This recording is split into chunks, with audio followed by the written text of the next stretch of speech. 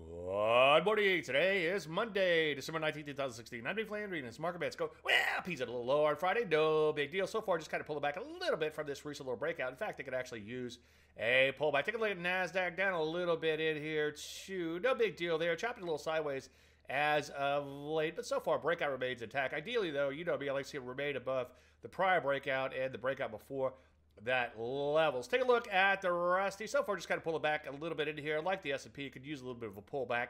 As you can see, rallied up a little bit and came back in, but so far, so good there. Metals and mining selling off fairly hard as of late, but no big deal there. Steel, copper, aluminium, industrial metals and minerals, all those areas looking pretty good. Gold and silver, not so much, though, so avoid those areas. Take a look at last week's Dave Landry's the weekly charts for a lot more on that. Take a look at banks so far. Just kind of pull it back a little bit in here. Still looking pretty good. Other financials such as insurance, he tried to say, also looking pretty good. So what do we do?